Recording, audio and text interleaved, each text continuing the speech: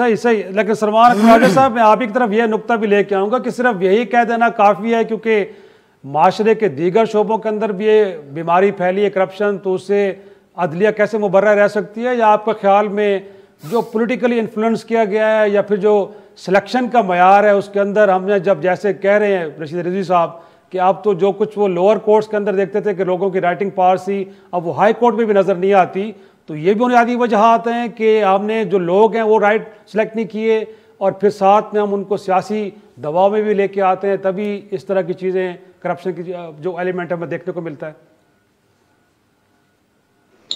देखिए, अदलिया के मामला का ताल्लुक जो है, एक तो माशरे का जो एक उमूमी इनतात है, जो तालीमी निज़ाम का इनतात है, जो तालीम तालीमी इस्तात लोग लेकर आते हैं इस प्रोफेशन में, बतौर वकील और फिर जज बनते हैं या जो जजी का इम्तहान पास करके जज बनते हैं डिस्ट्रिक्ट कोर्ट्स में। वो तमाम बात अपनी जगह है कि मैार कम हुआ है, तालीम का मैार भी कम हुआ है और उसकी वजह से जो हमें लोग नज़र आते हैं प्रोफेशन में भी और डिस्ट्रिक्ट कोर्ट्स में भी, उनका मैार भी कम हुआ है। ये बात अपनी जगह बिल्कुल दुरुस्त है। लेकिन अदलिया का जैसे आपने इशारा किया एक और खसूसी मामला भी है कि अदलिया पे हर दौर में एक एक, एक तरह से आप कह लीजिए अताब तारी किया गया है। अदलिया को हर आने वाले ताले आजमा ने इस्तेमाल करने की कोशिश की है। और हमारे मुल्क में तो ये शुरू दिन से हुआ मौलवी तमीजुद्दीन केस का हम ज़िक्र करते हैं। उससे पहले भी मैं समझता हूँ पिंडी कॉन्स्परेसी और उससे आगे हम चलते रहे। फिर मार्शल लॉ लगते रहे लोगों को निकाला जाता रहा और हर दस बारह साल के बाद एक मार्शल लॉ आया और एक तरह से जो लोग थे जिनके हवाले से शक था कि शायद साथ ना दें आने वाले गैर कानूनी निज़ाम का उनको फारिग किया गया। तो अदलिया हमेशा से दबाव में रही, फिर अदलिया को 58 टू बी का ज़माना, जब असम्बलियों को तहलील किया जाता था, एक तरह से एक ट्राइका बन गया कि जो बड़े हैं, जिन्होंने फैसले करने हैं, उनमें अदलिया भी शामिल हो गई और एक तरह से सियासी नौीयत के लगा के फैसले किए जा रहे हैं। तो ये तमाम तारीख हमारे सामने है और इसका बहरहाल असर जो है वकार पे भी हुआ है, इदारे की और जो लोगों के जहन में सोच है, इदारे के हवाले से उस पर भी हुआ है। लेकिन इस सबको अगर हम एक लम्हे के लिए साइड पे रख दें तो कुछ और इंतज़ाम मामला आते हैं। देखिए आप ये देखें कि हम्म। हमारे मुल्क की आबादी क्या है और हमारे मुल्क में जजों की तादाद क्या है? ये एक एक नंबर है जिसको देखा जाता है ये देखने के लिए कि क्या हर एक लाख की आबादी पर जजों की तादाद इतनी है कि वो माकूल अरसे में मुकदमात का फैसला कर सके? तो जवाब हमारे लिए बिल्कुल नफ़ी में आएगा। आप किसी भी एक ऐसे मुल्क से अगर मुवजना करें जहाँ मामला सूरत से चलते हैं या एक काबिल कबूल सतह पे चलते हैं तवालत जो है वो नाकबिल बर्दाश्त नहीं होती तो आप देखेंगे जजों की तादाद ज़्यादा है। तो पहला तो मसला मैं समझता हूँ डिस्ट्रिक्ट कोर्ट्स की हद तक आपको ये करना है। फिर जो मामला आ जाता है ट्रायल के दौरान गवाहान को पेश कर इंतजामी नौीयत के मामला हैं। इनके लिए ज़ाहिर है पैसा चाहिए बजट चाहिए बहसीत कौम वफाकी सतह पे भी, सूबाई सतह पे भी आपको इन चीज़ों को देखना होगा, इनके लिए वसाइल पैदा करने होंगे, निज़ाम अदल को तरजीह देना होगा। चीमा साहब इनफैक्ट अगर इंसाफ की फरहमी की हम बुनियाद तस्वर करें तो पुलिस ये है, जब तक मेरिट पे फ़र्स्ट फ़र्स्ट इन्वेस्टिगेशन रिपोर्ट नहीं लिखी जाएगी तो यकीनी तौर पे आगे जा आगे जा के ना तो मुजरम को सज़ा मिल पाएगी और ना किसी को आप बेगुनाह साबित कर सकते हैं।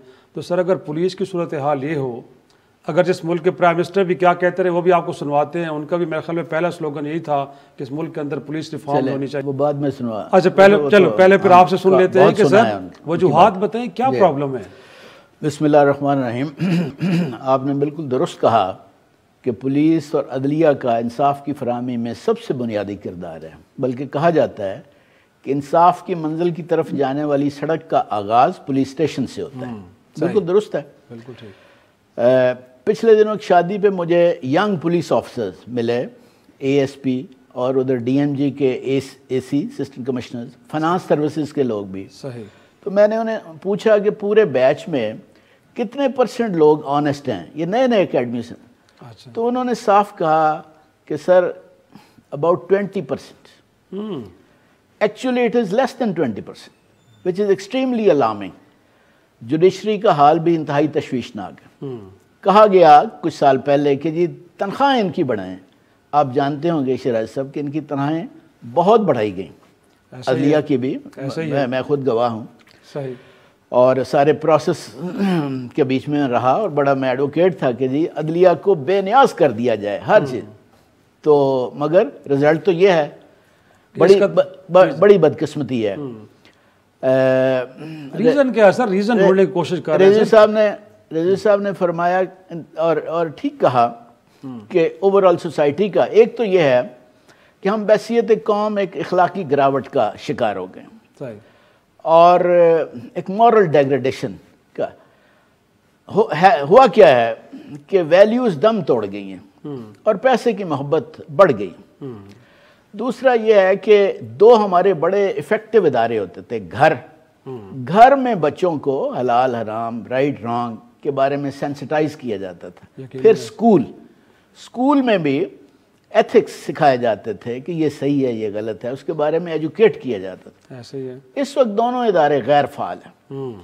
कौमी क्यादत भी डायरेक्शन देती है हम्म। और लोगों को इंस्पायर करती है नौजवानों को मोटिवेट करती है। यहाँ अनफॉर्चुनेटली सूरत हाल ये है कि कौमी क्यादत झूठ बोलना भी नामनासिब नहीं समझती। हम्म। और इंतहाई अला तरीन उहदों पर बिल्कुल नॉन करप्ट और बदनाम अफसरों को तैनात किया जा रहा है हम्म। वहाँ क्राइटेरिया जो है वो किरदार और ईमानदारी नहीं बल्कि वफादारी बन गया हम्म। और अकाउंटेबिलिटी जो ट्रांसपेरेंसी इंटरनेशनल की रिपोर्ट ने भी एक वजह जो कहा कि ग्रीड भी है हम्म। और अकाउंटेबिलिटी वीक है बिल्कुल दुरुस्त है कि मटीरियलिज्म बढ़ गया है पैसे की हवस बढ़ गई है और अकाउंटेबिलिटी यहाँ जो है वो सिर्फ़ इंतकाम का दूसरा नाम अकाउंटेबिलिटी है सही सीनियर सच्ची बात है कि सीनियर लेवल की ब्रोक्रेसी हम्म। और अदलिया की कोई अकाउंटेबिलिटी नहीं है हम्म। ठीक है जी हम्म। और देखें पंजाब सबसे बड़ा सूबा है आप ज़रा पता करें किसी से कि एंटी करप्शन में किस और एफआईए में जिन्होंने ये अकाउंटेबिलिटी करनी है किस टाइप और किस रेपुटेशन के लोगों को तैनात किया हम्म, गया है। हम्म, हम्म, तो लिहाजा कौमी की आदत की तरफ़ से भी कोई वो डायरेक्शन नहीं मिल रही। रिक्रूटमेंट देखें रिक्रूटमेंट का प्रोसेस जो है पुलिस में सी एस एस के ज़रिए ख्याल था जो पॉलिसी मेकर्स का कि ये सीनियर लेवल पे आएँगे ये लीडरशिप प्रोवाइड करेंगे इंस्पायर करेंगे। आगाज़ में तो इनका इंटेग्रिटी और करेक्टर का लेवल बहुत अच्छा था। मगर अब नहीं है।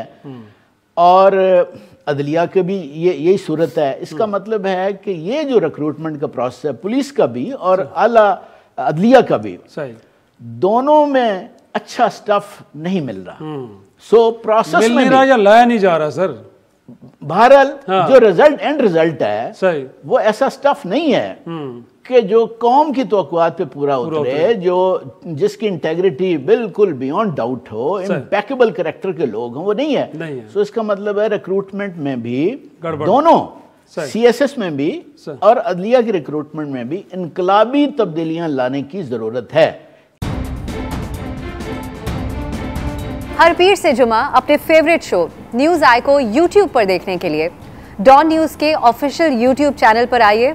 उसको सब्सक्राइब कीजिए और बेल आइकन को प्रेस कीजिए।